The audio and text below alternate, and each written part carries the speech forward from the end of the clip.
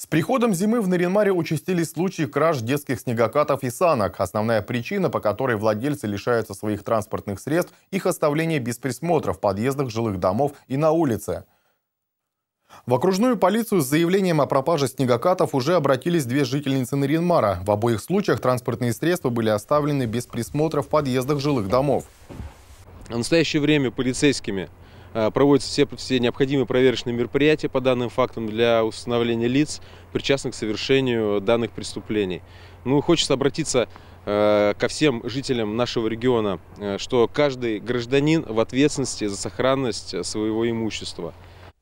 Хранение снегокатов, санок и других средств передвижения в подъездах, на лестничных клетках, под лестничными маршами запрещено требованиями пожарной безопасности. Вещи на путях эвакуации могут не только помешать в случае любого чрезвычайного происшествия, но и сами стать причиной пожара.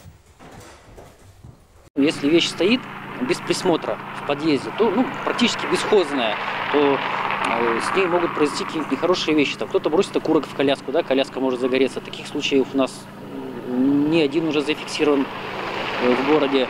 Ну, прежде всего, жители должны о своей безопасности заботиться и о безопасности своего имущества.